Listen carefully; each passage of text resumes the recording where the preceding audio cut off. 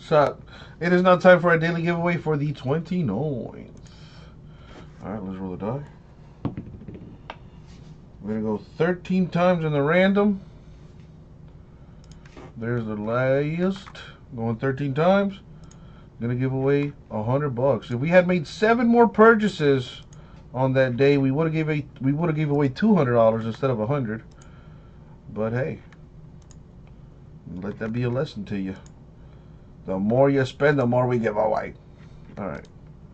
113, top name wins. 100 bucks. Money shot coming up. Good luck. My man Joe Pa. As you can see, we went 13 times.